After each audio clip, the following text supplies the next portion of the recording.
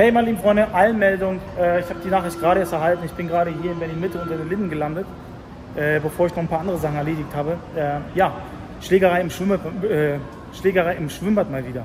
Ja, äh, mir fehlen die Worte. Es ist wieder was passiert in Berlin-Neukölln, Gropiusstadt. Ich glaube, Neukölln, doch, das ist Gropiusstadt, das ist Neukölln. Ja, ja. Im Freibad, glaube ich, war das, ja. Im Freibad hat mir mein Kollege äh, die Nachrichten geschickt und die Fotos dazu geschickt, was da angeblich gewesen ist. Ich kann sie leider nicht einblenden, weil das äh, etwas zu heftig ist. Deswegen werde ich das jetzt so nicht einblenden und darüber sprechen für euch. Ich werde natürlich unten nochmal ein paar Links finden und euch diese Links unten äh, in die Infobox tun und auch in die Kommentare, damit ihr seht, was ungefähr da ablief.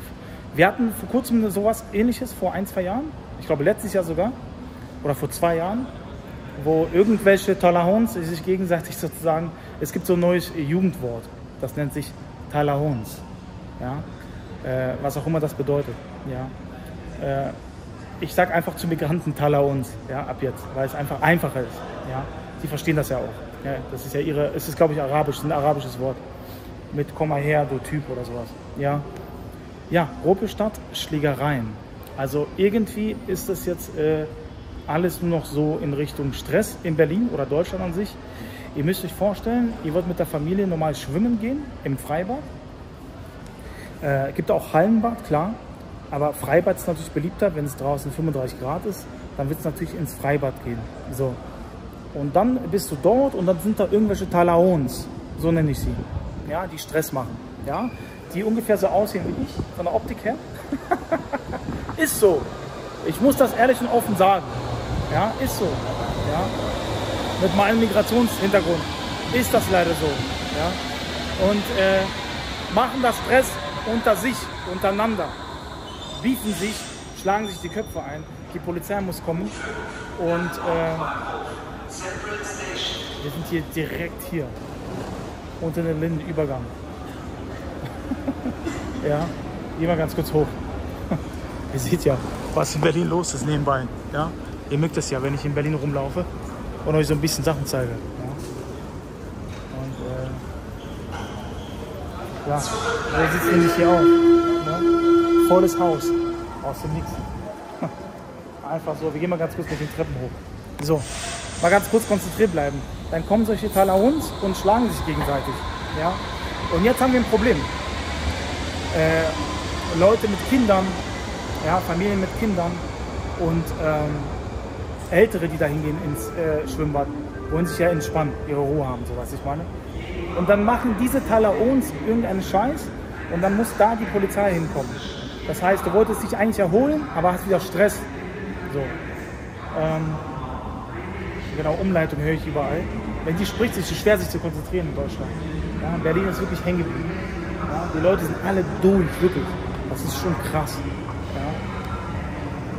Ja. Ähm, Genau.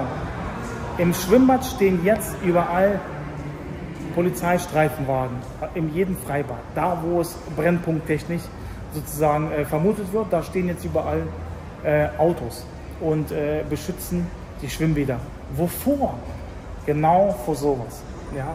Und äh, jetzt denke ich mir halt so, es ist eine sehr, sehr traurige und dumme Sache. Ja?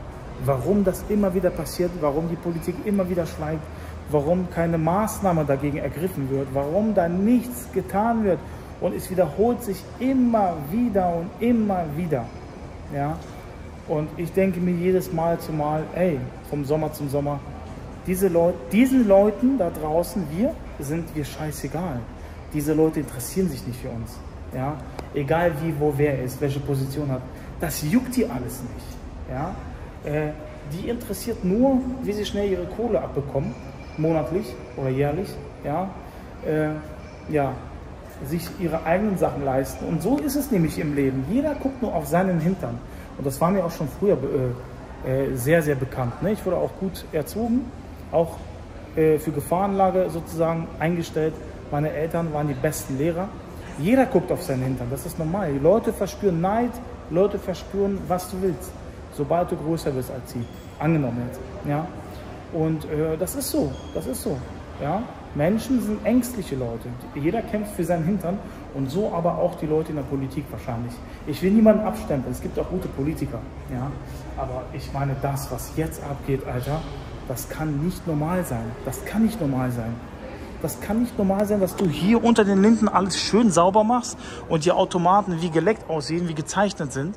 Ja, äh, hier noch ein bisschen ein paar Kratzer, okay, aber weißt du, was ich meine? Und irgendwo am Hermannplatz, Neukölln oder sonst wo, sind die U-Bahnhöfe sehen aus wie nach dem zweiten. Ne? Ja. Ähm, ja, was soll ich dazu sagen? Es ist eine sehr, sehr traurige Sache. So, ich sag auch schon zu meiner Frau mal, wegen dem Kind und alles drum und dran, geht nicht ins Freibad. Sollte da was passieren, ich bin nicht vor Ort, ich bin am Arbeiten oder sonst was. Sollte da was passieren und ich bin nicht da, da sind da irgendwelche Vollidioten, die ihren Eltern versagt haben und nicht auf sie aufpassen.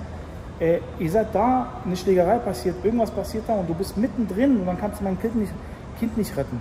So. Wenn die außer Kontrolle sind, ich weiß ja, wie äh, bescheuerte Kennex sind, ja, äh, wir waren alle mal so, wir waren jung, aber irgendwann musst du auch alt sein, irgendwann musst du auch alt haben. In der Sache darfst du nicht hängen bleiben. Ja? Man sagt ja, alles unter 25 ist akzeptabel oder unter 30 vor allem, sage ich, weil heute sind 25-Jährige noch mehr Kinder wie 18-Jährige.